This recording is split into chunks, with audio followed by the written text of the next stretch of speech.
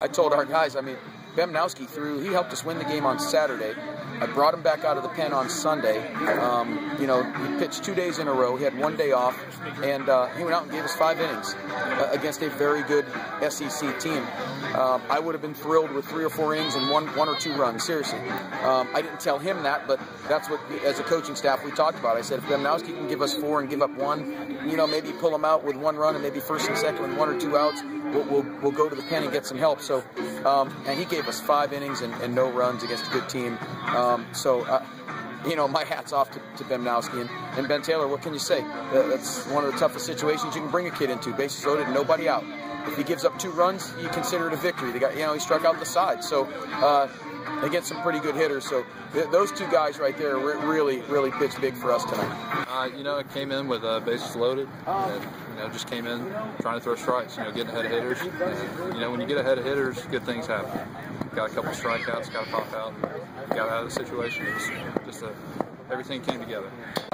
Give credit to South Alabama. They did what they had to do tonight, and you know, when you break the game down, I mean, they score their first run. Our left fielder doesn't back up. He's out of position. They score there. You know, we misplay the bunt,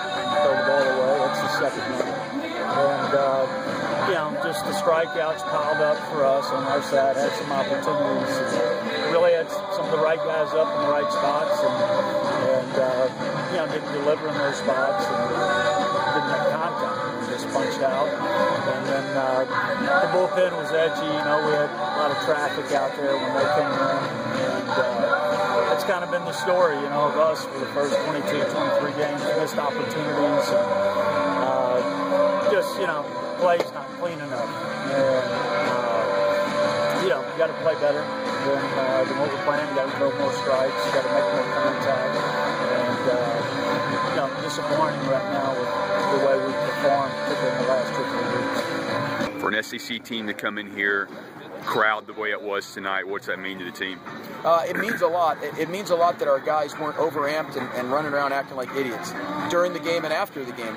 Um, we, we, preach around here that every game has implications. Every game.